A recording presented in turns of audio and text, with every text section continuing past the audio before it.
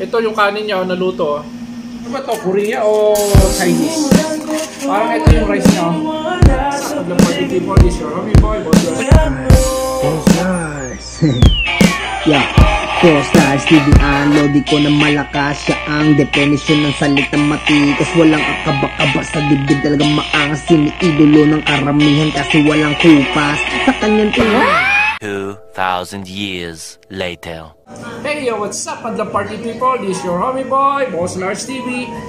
Guys, subukan lang natin tong trending ngayon, itong self-heating rice pot. Na kasi may napanood akong mga review sa YouTube.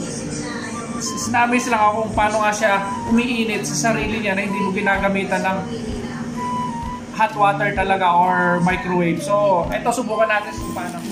So, ito, subukan natin to kung ano nga bang laman ito. So kasi parang namiss ako kung bakit nga siya umiinit ito. Ano ba to? Oil? Ito. Ano yata to yung flavor niya? O ito yung tubig niya. Ito lang ang laman niya. Tapos yung rice niya. Kasi, ano ba to? Korea o Chinese? Parang ito yung rice niya. Oh.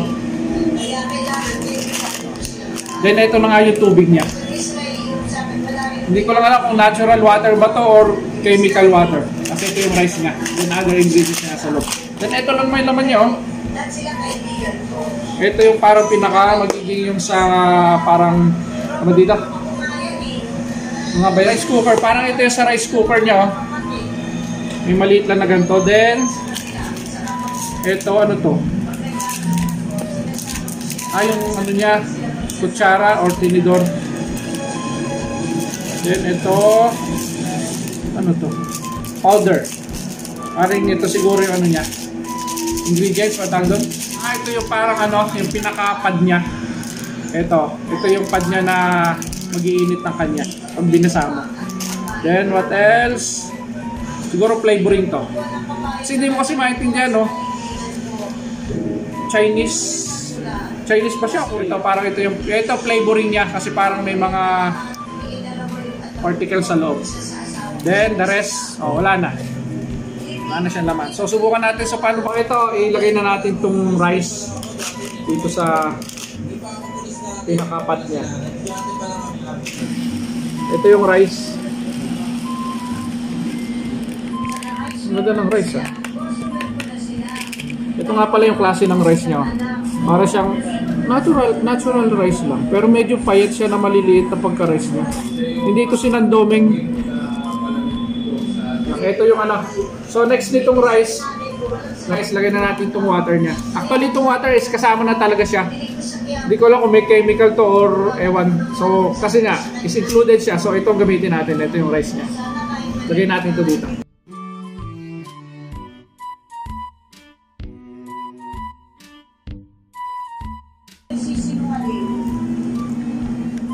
Wow, para tayo magsasaing talaga oh. Yeah.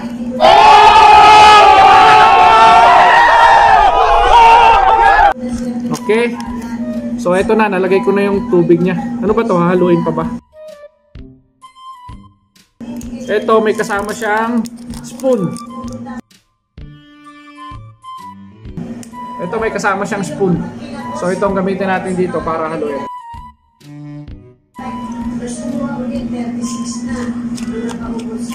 Hindi ko alam kung tama ba to haluin ba talaga pero kasi matigas yung pinakabigas niya nung nalagyan ko ng tubig. So haluin na nga natin. Wala namang masama. Okay.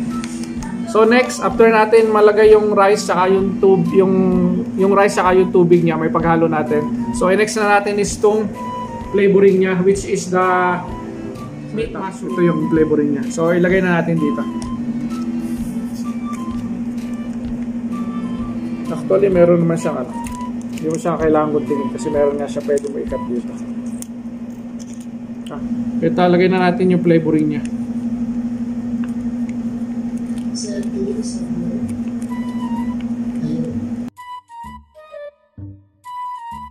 Ang bango niya. Amoy, parang amoy tuna.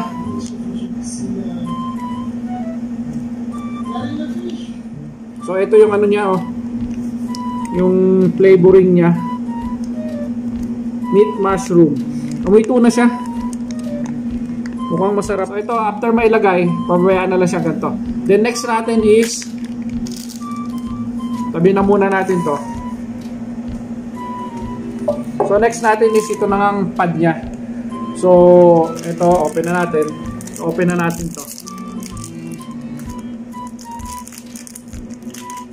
Ito, ito yung self-heating pad na ginagamit. Actually, parang ganito rin yung ano eh. Yung pag nilalagnat, pag binasa mo lalagay dito. Gago! Ito siya. Wala naman siyang other ano, para lang siyang may powder sa loob. Kaya na natin dito sa loob.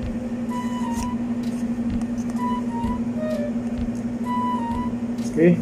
Then, bigyan natin ng tubig.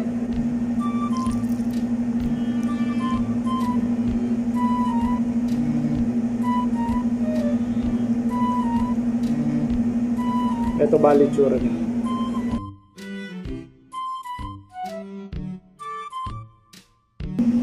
So tingnan lang natin to kasi sa may sa mga review parang nakita ko is hayaan muna lang siya diyan kasi parang mag, magkakaroon siya ng counting smoke. So which is doon mo malalaman kung umiinit na nga siya bago natin ilagay itong rice natin na may flavor.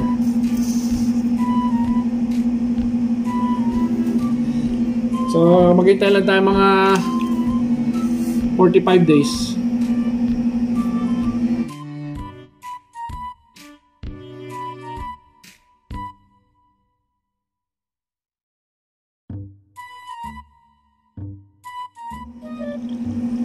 Yun, dapat pala ganun, ilulubog mo siya.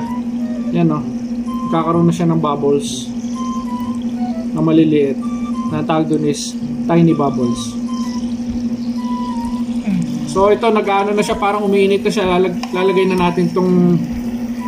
Yan, umu umuusok na siya oh.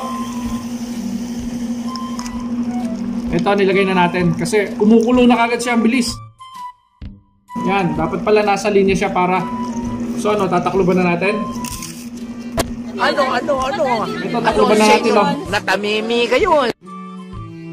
Ito, kumukulo siya, oh. So, takloban na natin para maluto na talaga siya. So, hayaan lang natin siya, pag natakloban natin, hayaan lang natin siya ng 15 minutes. Kasi yun yung makikita ko doon sa mga review din. Pabayaan mo lang siya ng 15 minutes, then luto na siya. Bago natin check. Oh, so, yun lang, balikan na lang natin after 15 minutes. Okay?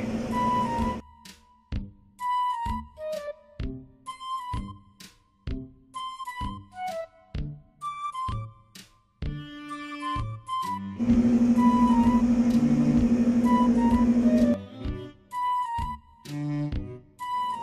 guys, after 15 minutes, balikan na natin siya. Oh. Napakainit pa rin hanggang ngayon. Ito, oh, init niya. Parang kumukulo pa rin siya hanggang sa loob. Ito, buksan na natin. Wow, umuusok-usok pa oh. Subukan natin kung luto nga siya. Ito pero naluto nga yung kanin niya oh. Ito, luto talaga siya. Ito yung kanin niya oh, naluto oh. Galing. Dahil lang doon sa self-heating pads.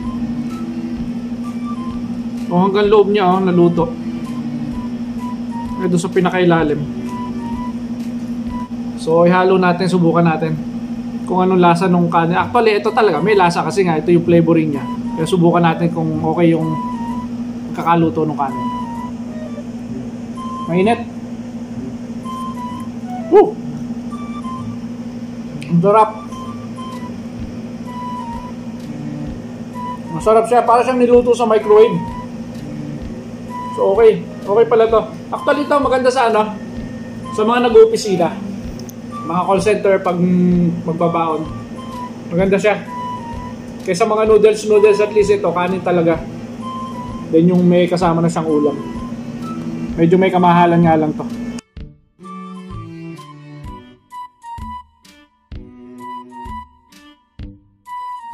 Subukan pa natin isa.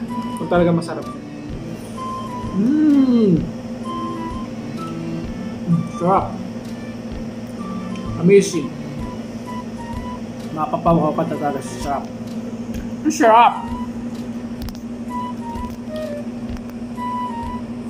Mainit!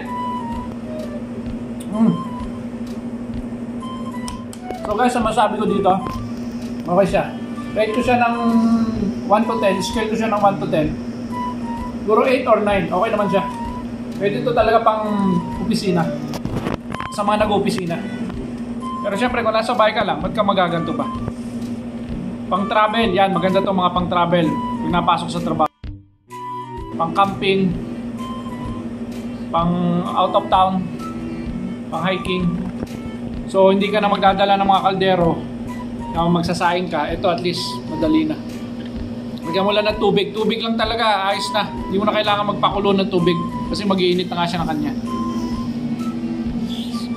So hanggang dito na lang guys. Thank you nga pala sa panonood nyo itong pag-review ko dito sa self-heating rice. Kasi nakakamiss talaga kung paano siya naluluto nang hindi mo ginagamitan ng papainit ka ng tubig. Sa pamagitan lang ng help heating pads, maluluto na siya, di ba? Nakakamiss. So, ito sinubukan ko lang talaga pero okay nga siya. Maayos siya, naluluto talaga ng kanya. Maayos naman yung kanin, malambot. So hanggang dito na lang. Eh sa mga bago nga pala dyan, don't forget to like and subscribe my YouTube channel. And don't forget na rin na hit nyo yung notification bell para ma-notify kayo sa mga susunod na videos ko. So don't forget guys, don't forget, Boss Lars TV,